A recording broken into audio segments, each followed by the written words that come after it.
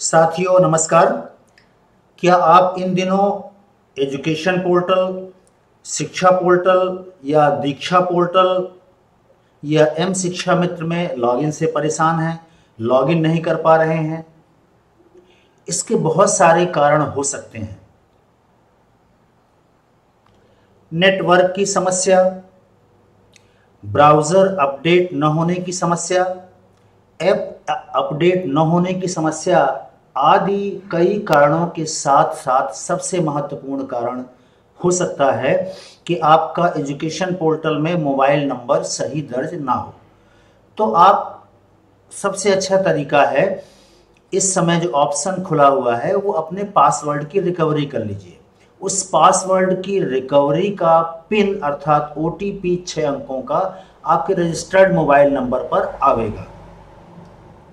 अब सबसे बड़ी समस्या आ रही है कि मेरा registered mobile number education portal या शिक्षा पोर्टल या एम शिक्षा मित्र, या दीक्षा पोर्टल में कौन सा है? जब आपका मोबाइल नंबर पता होगा, तभी तो आप उस पर आश्वस्त होंगे कि हम ओटीपी इसमें देखें। तो बड़े आसानी से आप मोबाइल नंबर अपना पता कर सकते हैं। ये जानकारी अभी हम आज के वीडियो में शेयर करेंगे। और अगर मोबाइल नंबर आपका गलत दिख रहा है तो आप बड़े आसानी से डिस्ट्रिक्ट लॉगिन से या बीआरसी लॉगिन से या डिस्ट्रिक्ट प्रोग्रामर के थ्रू अपना मोबाइल नंबर अपडेट कर सकते हैं और बड़े ही आसानी से आप अपना पासवर्ड रिकवर कर सकते हैं। अब सबसे बहुत ही इंपॉर्टेंट बात यह है कि आपका मोबाइल नंबर कौन सा रजिस्टर्ड है, या रजिस्टर्ड नहीं है, ये कैसे जाने? तो उसका बहुत, उसके बहुत सारे तरीके हैं एम शिक्षा मित्र में, पर एक बहुत सिंपल सा तरीका मैं आपके साथ में शेयर कर रहा हूँ।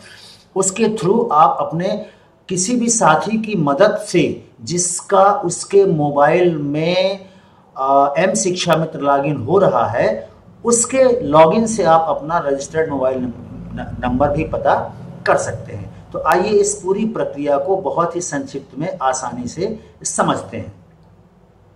इसके लिए आपको आपके मोबाइल में इंस्टॉल एम शिक्षा मित्र ऐप को ओपन करना होगा। एम शिक्षा मित्र ओपन करने के पश्चात नीचे आप देखेंगे, ये एरो का निशान बना हुआ है, इस पर आप क्लिक कीजिए।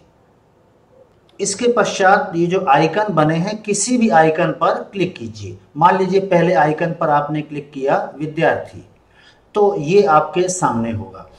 ये स्क्रीन में आप अगर देख पा रहे होंगे तो ध्यान से देखिए, नीचे आपको एक नया, एक स्ट्रिप मिल रही है। इसमें बहुत सारे आपको ऑप्शन दिख रहे हैं। यहाँ पर आपको सीधा डैशबोर्ड पर जाना है। और अपने मोबाइल की स्क्रीन को स्क्रॉल करना है, सबसे नीचे, सबसे अंतिम आइकन जो लिखा हुआ है, संपर्क सूत्र, इस पर आपको क्लिक कर देना है। क्लिक करने के पश्चात आपका जो स्क्रीन है, मोबाइल पर ये दिखाई देगा। अब इसके पश्चात आप जिस विद्यालय में पदस्थ हैं, उस विद्यालय का डाइस कोड इंटर करेंगे। डाइस कोड इंटर करने के पश्चात देखें बटन पर क्लिक कीजिए। अब बहुत ही इंपॉर्टेंट विंडो है ये सामने मित्रों। जिस डाइस कोड को आपने इंटर किया, उस डाइस कोड में जितने अध्यापक पदस्थ हैं, सभी का नाम और उनका एम्प्लाई कोड और mobile number registered mobile number आप देख पा रहे होंगे, सभी का इसमें दिख रहा है आपको। बस अब आपका कौन सा मोबाइल नंबर रजिस्टर्ड है? बड़ी आसानी से आपको यहाँ से पता चल जाएगा। ये आप अपने विद्यालय में पदस्थ किसी भी शिक्षक जिसके मोबाइल में एम शिक्षा मित्र रन कर रहा हो, सिर्फ़ उसके मोबाइल से पूरे विद्यालय के शिक्षकों का कौन सा मोबाइल नंबर रजिस्टर्ड है, वो आसानी से पता कर सकते हैं। यदि आपका मोबाइल नंबर सही है तो एजुकेशन पोर्टल में जा करके अपना पासवर्ड रिकवर कर लीजिए, रीसेट कर लीजिए। वही दीक्षा पोर्टल, एम शिक्षा मित्र और शिक्षा पोर्टल में काम करेगा।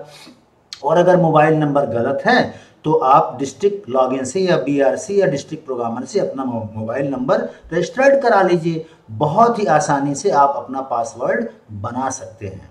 तो मित्रों, ये थी जानकारी जो बहुत ही प्रासंगिक थी, बहुत ही ज़्यादा क्वेरी आ रही थी कि हम एम शिक्षा मित्र में लॉगिन नहीं कर पा रहे। उसका मूल कारण ये था कि आपका mobile number registered mobile number आपको पता नहीं है या आप उसमें ओटीपी नहीं प्राप्त कर पा रहे। तो मित्रों, आज की वीडियो में बस इतना ही। मिलते हैं अगले वीडियो में ऐसी ही महत्वपूर्ण जानकारी के साथ। तब तक के लिए धन्यवाद। जय हिंद, जय भारत।